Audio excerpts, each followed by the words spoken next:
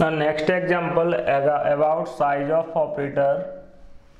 First of all we are supplying five five means integer therefore it will return size of similar to integer types as we know integer will takes always two bytes integer will takes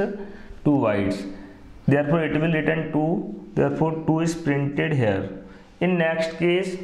next case में supply क्या किया size of A A means character single code से represent किया characters but characters are represented in the form of byte fold इसका इट्स की value what is the ASCII value of a 65 therefore it is equivalent to size of a is equivalent to size of 65 65 का type क्या है integer और integer का size क्या return हुआ इस केस में two bytes therefore it will returns two bytes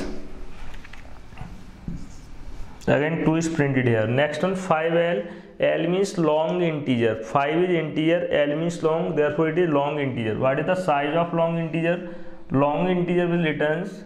will takes 4 bytes, therefore 4 is printed here. Next one, what is the size of 2.5 f? By default decimal number का type double होता है लेकिन इस case में qualifier is क्या f f means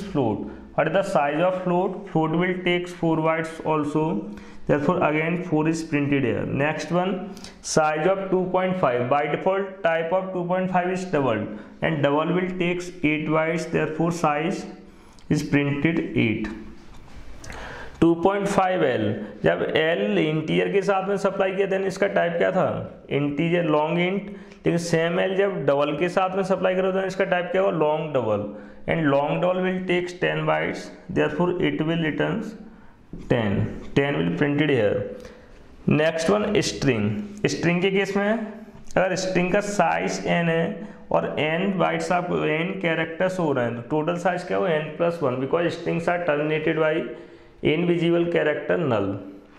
तो string के case में काउंट करें number of character one single character will takes one bytes one two three four five space is also counted in six